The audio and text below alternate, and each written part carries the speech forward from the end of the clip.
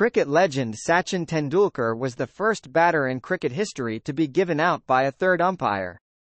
Sachin was adjudged run out by TV umpire Karl Liebenberg in the first test during India's tour of South Africa in 1992.